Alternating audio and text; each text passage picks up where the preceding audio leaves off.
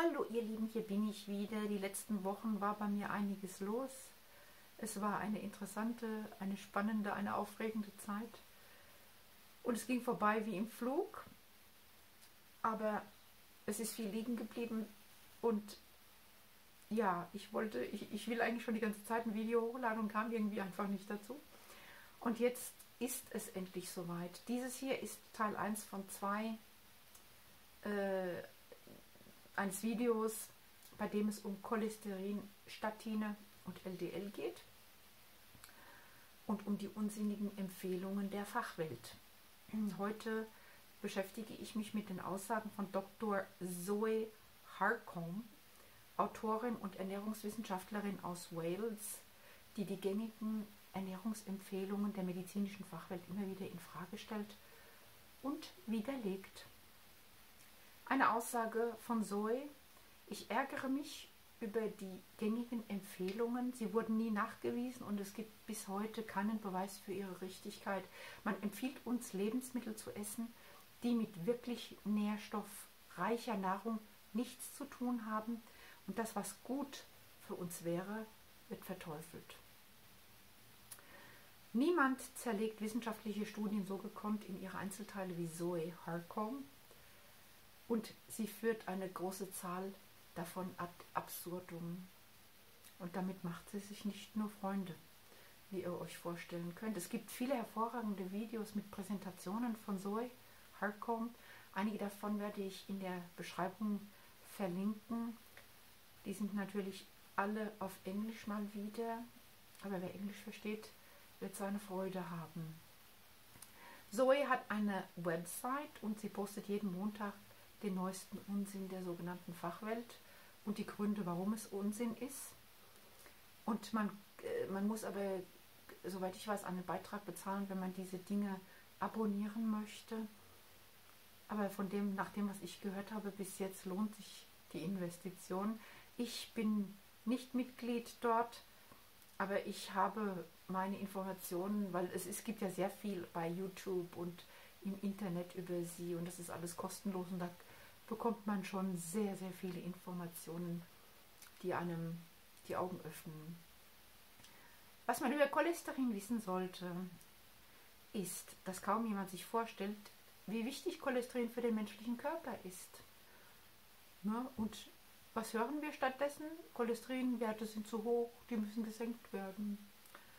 Ohne Cholesterin wären wir tot. Es gäbe keine Zellen, keine Knochenstruktur, keine Muskeln, keine Hormone, keine Sexualität, keine Fortpflanzung, keine Verdauung, keine Gehirnfunktion, kein Erinnerungsvermögen, keine Nervenfunktion, keine Bewegung, kein menschliches Leben.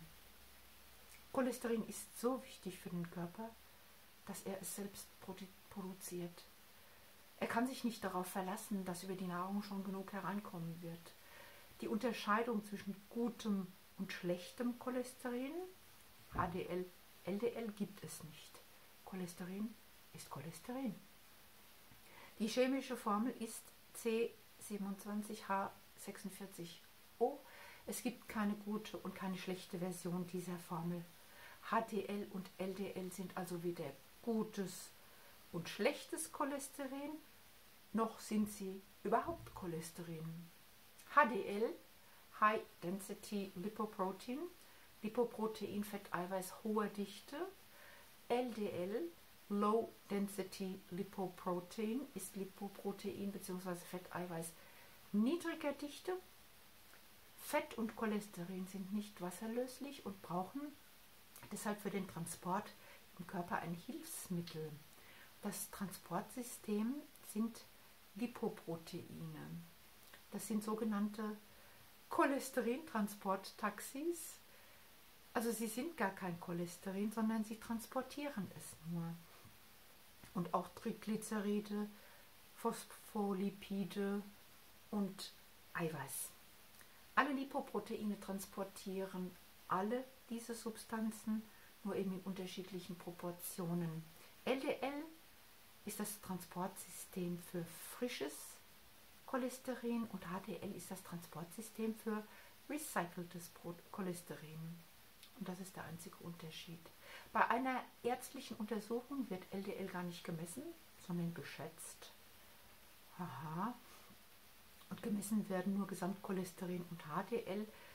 Nähere Informationen über Berechnungsmethoden findet ihr im Internet. Da gehe ich nicht drauf ein, weil ich davon ausgehe, dass das nur die wenigsten interessieren dürfte. Statine behindern die körpereigene Cholesterinproduktion. Statine sind Cholesterinsenker, die millionenfach verschrieben werden weltweit und die für die Pharma-Riesen mit den größten Umsatz machen.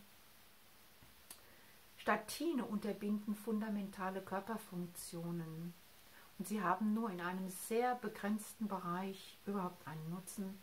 Und dieser Bereich betrifft Männer über 50 mit Herzinfarkt vor Geschichte. Sie funktionieren aufgrund, sie funktionieren aufgrund einer entzündungshemmenden Wirkung. Das Senken des Cholesterinspiegels ist eigentlich eine unerwünschte Nebenwirkung. Statine unterbinden die Fähigkeit des Körpers, das lebenswichtige Cholesterin herzustellen. Ich erinnere, erinnere daran, dass der Körper Cholesterin so wichtig findet, dass er in der Lage ist, es selber herzustellen. Und wenn man ihn daran hindert, dann hindert man ihn daran, äh, defekte Zellen zu reparieren. Und man, man behindert den Körper daran, gesund zu bleiben und zu leben. Einer von 500 Menschen hat es mit homozygoter familiärer Hypercholesterinämie zu tun.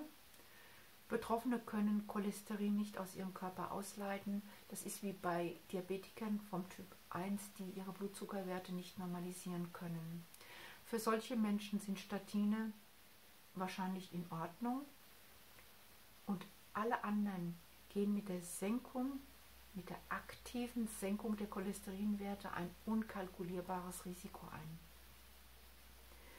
Aussage von Ansel Keys, dem Vater der fettarmen Ernährungsempfehlungen. Cholesterin aus der Nahrung hat keinen Einfluss auf das Cholesterin im Blut und das wissen wir seit langer Zeit. Mhm. Trotzdem hat er empfohlen, dass man sich fettarm und natürlich cholesterinarm ernähren soll. In den 50er Jahren führte er in Minnesota ein Hungerexperiment durch. Ziel war es, Cholesterin in Lebensmitteln mit den Cholesterinwerten im Blut in Verbindung zu bringen. Das Ergebnis war, es konnte keine Assoziation und noch viel weniger eine Kausalität nachgewiesen werden. Oh. Cholesterin gibt es nur in tierischen Lebensmitteln. Cholesterin aus der Nahrung hat keinen Einfluss auf Cholesterin im Blut und deshalb macht die Reduktion von tierischen Nahrungsmitteln keinen Sinn. Ne, wie man früher die Empfehlung hatte, ein Ei pro Woche, weil zu viel Cholesterin und so. Ein Ei pro Woche. Es gibt viele Menschen, die ein Dutzend Eier am Tag essen und die sind genauso gesund oder viel gesünder als die, die das nicht tun. Ja, Fleischinnereien, Fisch, Eier, Milchprodukte haben keinen Einfluss auf Cholesterinwerte im Blut. Cholesterin ist so wichtig, dass der Körper es selbst produziert. Ich sage es nochmal. Und man kann sich über vieles Sorgen machen, aber ich kann mir nicht vorstellen, dass dein Körper versucht, dich umzubringen. Ja, ich werde noch etliches, das war jetzt kurz, der zweite Teil kommt noch, da geht es dann um ein anderes Video, aber es ist dasselbe Thema. Und ich werde noch ein paar Sachen verlinken in der Beschreibung und hoffe, dass es dass das nächste Mal nicht, das nächste Video nicht wieder so lange auf sich warten lässt. Ja, vielen Dank fürs Interesse, fürs Zuhören und Zusehen. Ich wünsche euch einen schönen restlichen Sonntag, eine gute Woche. Heute ist der erste Advent. Einen schönen ersten Advent. Und ich sage euch Tschüss und bis bald.